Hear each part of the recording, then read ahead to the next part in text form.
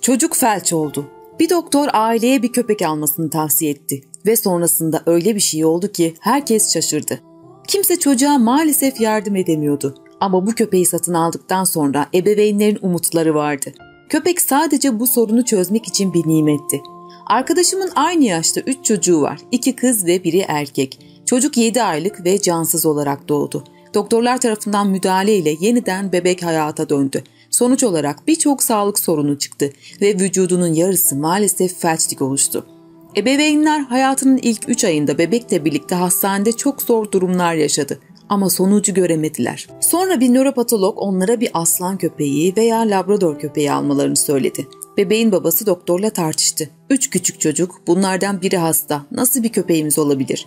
Ancak doktor bunun bir tavsiye değil, bir emir olduğunu söyledi. Ebeveynler şok oldu ama köpeğin sadece felçli tarafı kemirmesi garipti. Ailesi ise son çare köpeğe dokunmamaya karar verdi. Bir masöz onların evine gitti. Ebeveynlerine bir çocuğun aynı anda iki masaj yapmasının imkansız olduğunu suçlamaya başladı.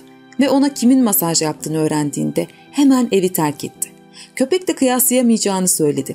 Sonuçta köpek gerçek bir akupresör alır. Ve beklenen mucize gerçekleşti. Bir ay sonra bebek her iki eliyle de köpeğe uzandı. Daha sonra köpek ona baktığı için bebeği hareket ettirmeye başladı. Şimdi çocuk bir yaşın üzerinde ve güzel hareket ediyor ve yürüyor. Ve ebeveynleri gerçekten şoke oldular.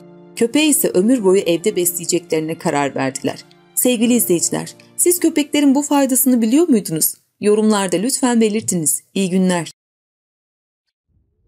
Lütfen videoyu beğenmeyi ve abone olmayı unutmayınız. Bu videoları izlemenizi tavsiye ederiz. İyi günler.